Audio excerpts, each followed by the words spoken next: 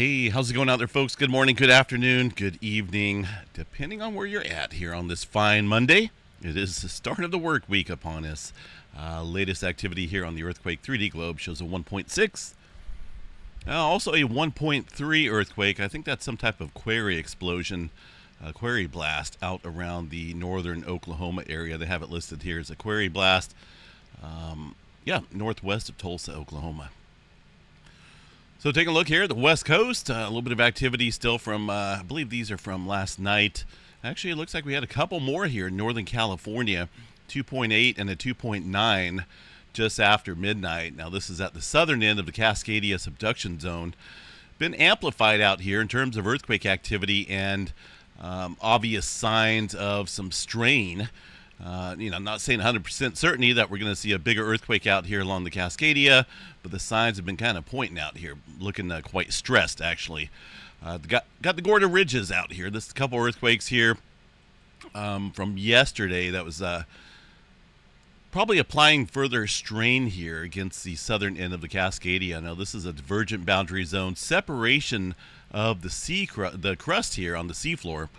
That uh, obviously happens over time. You get these ridges built up, but also at the same time, you're pushing what's left of the Gorda plate underneath the North American region here, underneath Northern California. So the North American plate boundary and the Gorda plate line is right about here at the Cascadia subduction zone. Yesterday, tremor activity was uh, somewhat elevated as well. Let me show you guys that here across Northern California. Right here. So obviously we're getting that uh, subduction happening uh, with the elevated tremor downstream, the earthquake activity in the Gorda Ridges applying further strain out here. And when we see the tremor activity stir up downstream, it looks as though that's um, definitely stressing the area upstream here where we're seeing uh, this most recent activity here at the southern end of the Cascadia subduction zone, upper twos. And of course, uh, it's you know it's been somewhat amplified out here with a couple earthquakes directly on the Cascadia subduction zone. This one was from uh, about three days ago, so just kind of keeping an eye on it. Uh, nothing big yet, but uh, all the signs out here are kind of pointing towards continual strain out against the Northern California area. Bay Area pretty quiet aside from one earthquake. Well, it's way south of the bay off the creeping section of the San Andreas Fault to 2.8. Not uh, anything big, but uh, just lets us know that the plate is moving out there for sure along the creeping section. Southern California, last night, a couple earthquakes there off the coast of the Santa Monica area. And now it looks like um, most of these, yeah, we had one more, it looks like, just before I went to bed, 1.9 there in that mix of earthquake activity. Um, over the last seven days, well, most of this struck here yesterday. Uh, a little bit of earthquake activity out there along the Santa Monica Bay Fault. It's a thrust fault that sits out there off the coast of Los Angeles. Not listed up here on the USGS map, but it runs roughly about right here. So make sure I turn that off. Uh, so just kind of watching that. Uh, nothing big happening out here across Southern California for now.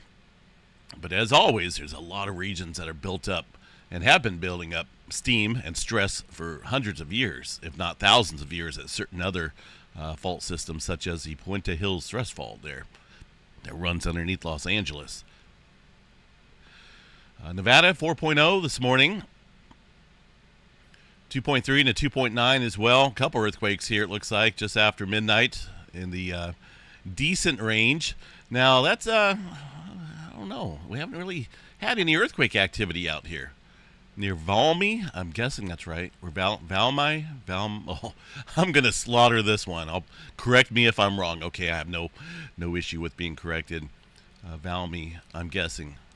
Uh, Nevada 4.7 miles deep, 6.9 uh, out there on the fault system.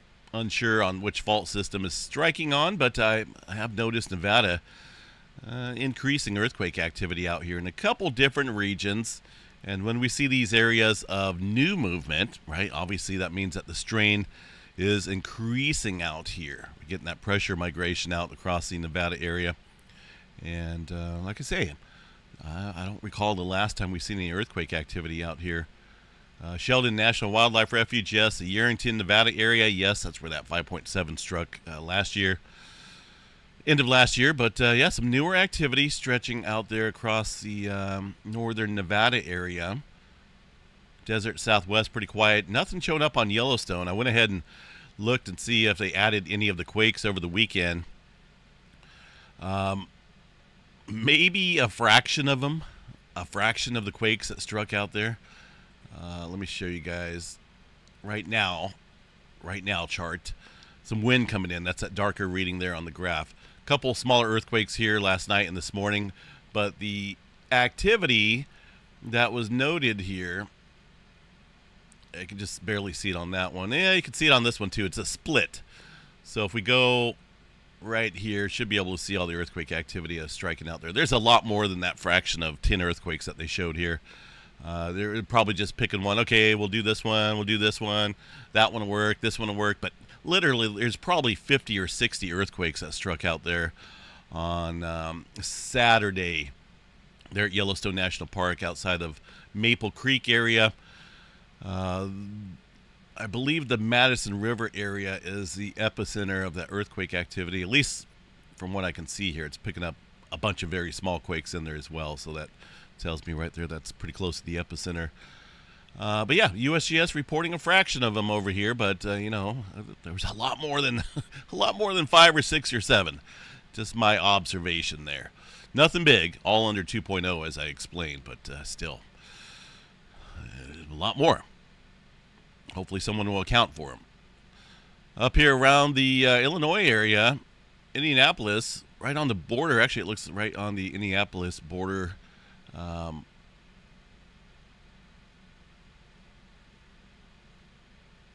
let's see.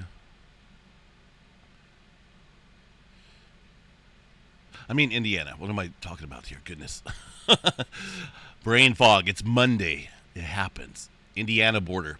I'm not for sure when we created a new state out there, but all right, 2.4. That's from yesterday, it looks like. I don't believe that was added on the map last night.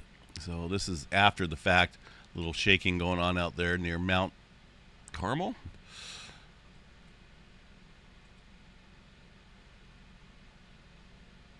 Underneath this area, about eight miles or so.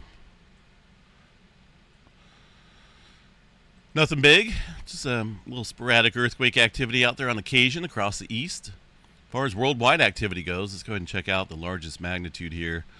Um, goes to, at least this is in the last 24 hours, goes to a 5.6 in the Indonesia area. I believe this originally came in as a six pointer. It got downgraded there to a 5.6, about 17 miles deep there for that earthquake. Uh, no big earthquake activity today so far, following you know, a bunch of a bunch of elevated movement out here recently with some some seven pointers, and in fact, you know, the largest uh, Largest earthquake so far this year goes to the Burma area, Myanmar region for the 7.7. That was a very damaging earthquake, very shallow earthquake as well. Had that been much, much deeper underneath this region, then we'd be talking about less damage there. But uh, that struck, you know, right underneath this area. Very shallow, highly populated region, and uh, man, a lot of, lot of damage out there. Still looking for the eight pointer. Question is, where's it going to be? I just don't know. I mean, there's a number of spots out here. Alaska area, a couple ones and some twos. Really nothing major going on up there for now. I, want to, I do want to double check the Canada station here because of the uh, tremor activity occurring up there off the uh, into the Cascadia subduction zone. I'm really not seeing a whole lot of activity um, out there. A lot of older movement there across the northern end of the Juan de Fuca plate. Not a whole lot happening up in Canada. I guess the, the latest quake going to be up here on the Alaska side. Um, 4.3. I believe USGS is showing that earthquake. Yes, they are. These guys are reporting it at 3.8, though. Is that the same earthquake? Or are they talking about this earthquake here? I, a little interesting.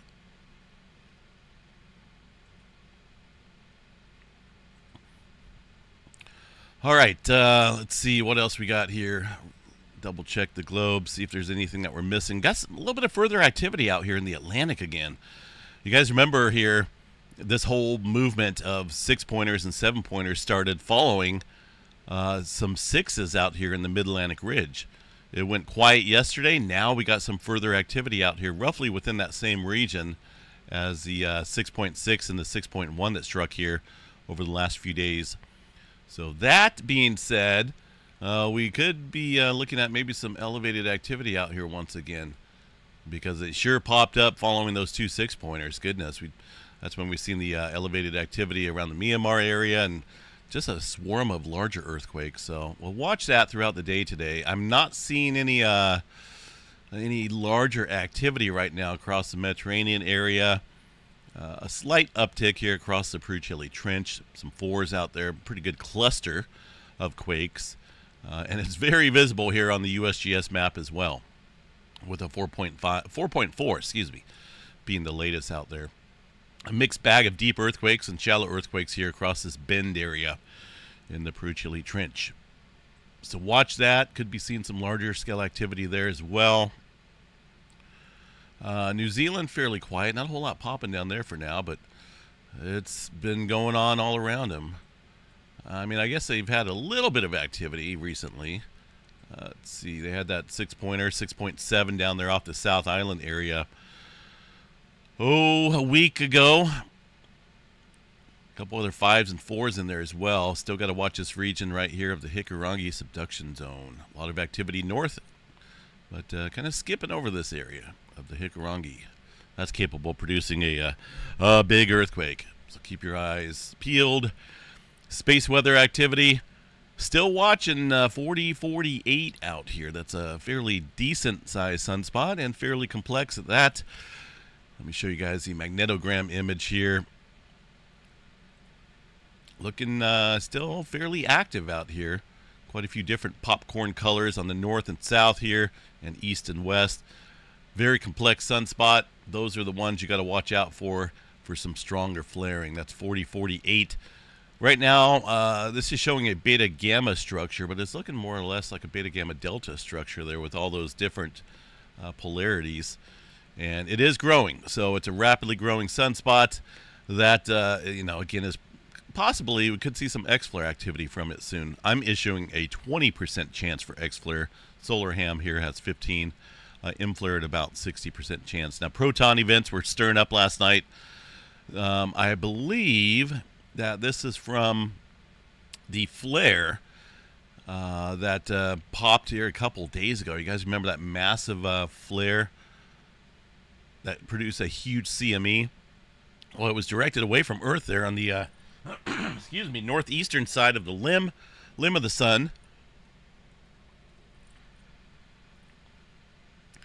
And uh, I think we're just finally getting some protons. Although it was a few days ago, it's quite rare to take days for the protons to reach here. So uh, either way, we got that occurring at the nor northern and the southern polar regions there. Nothing uh, far as any major flaring goes right now. This 4048 here is still sizzling a little bit with some C flare activity.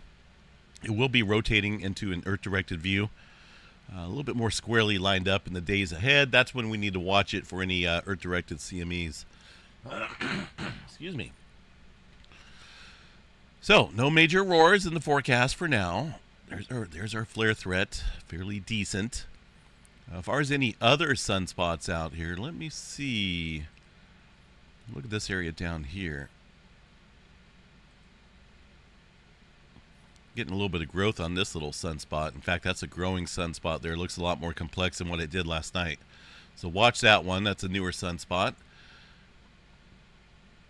And uh, really not too concerned with anything else out here, but we do have 4048, and um, this one should be named here pretty soon. Storm Prediction Center, all that severe weather that was happening yesterday has shifted all across the uh, east here on the eastern seaboard region. Got uh, some enhanced area for some tornado activity. They're in the uh, 5 and 2% wind and just a little bit of hail threat out there as well for a start of the work week. And now tomorrow, got a uh, return of the severe weather. back across the southern plains area, central and southern plains, it looks like, bringing with it another chance of, wow, tornado potential there outside of Wich- uh, within Wichita. Wichita is included in that 10%. Got some wind and some hail threats out there for tomorrow's severe weather day. Goodness, it is that time of day or that time of uh, that time of season, which could happen any day, right? Spring weather. Uh, quick glance here at the next close approach asteroids. See if anything is headed towards this planet that's of surprise. Well, I guess it wouldn't be a surprise, right? If it uh, if it was listed up here. But I'm not seeing anything right now. Pretty safe, pretty solid out there in terms of any uh, close approach asteroids for now. All right, uh, let's see what else. Anything major going on? Little earthquake there on Mendocino. That's there in Northern California. Let's see if they're reporting that earthquake. Uh, looks like they are. All right. A little 1.8 at 1120. That would match the signal right here. 1120, 1820 UTC time. Uh, quick glance here at the big island of Hawaii. Kilauea, Kilauea volcano, that is. what is up today with my voice? Hello. It's working, but uh, it's, uh, I don't know, something in the air. Kilauea volcano, uh, still going up in, ter- in terms of deflation or inflation. today opposites day. It's not April Fool's yet either. That's tomorrow. Got to watch out for April Fool's Day. That's a good day to stay home. Too many pranksters out there. All right, so we're uh, almost at a peak level observed from our last eruption. This is the uh, inflation going on, filling back up with magma. No different than our last one here, so we'll just kind of watch it and see what happens there across the Kilauea volcano. Far as the webcams up there go, let's go ahead and take a look here at the uh, summit area. Looks like a beautiful baby blue clear sky up there. Absolutely love that color. One of my favorite colors. Yeah, just some volcanic gases, some cumulus clouds there overhead, and uh, yeah, looks like a uh, actually looks like a beautiful day. 73 degrees out there. We got a chance of thunderstorms out here in uh, in uh, Northern California not really expecting much. It might be a few showers and thunderstorms out here around Redding and Chico today. We're included in that uh, thunderstorm area, which is fairly broad. But far severe weather goes, nothing really forecasted here for our area. Just uh, some thunderstorm potential. All right. Have a good one, folks. We'll catch you guys out here a little bit later on this evening for the Monday night update. Unless something major happens, of course, right? It's been active. We got that newer activity out in the Atlantic right now. Uh, our previous activity that popped out here, those sixes, really stirred things up with seven pointers. We'll see what happens today. This five pointer struck, uh, let's see, when was that? We've had a, a few hours here since it happened. 6.30 this morning here, my time. So I don't see anything elevated over here. Right now, it looks like all the elevated activity has stirred up uh, across the South America area. And during these events, during these uh, divergent boundary activity, uh, the pressure strain can go either way in terms of the migration pattern out here. Uh, the Mid-Atlantic Ridge right here, this is where the earthquake activity is happening. The arrows pointing away from each other. It could add further strain here across South America, the Caribbean plate, but in the last couple events here, it's really ramped up with moving all that pressure here on the uh, Africa plate, moving off to the um, to the northeast. So we'll just kind of watch it, see if anything else kicks up there today in terms of larger scale potential. Have a good one. We'll see you guys out here tonight. Take care, folks.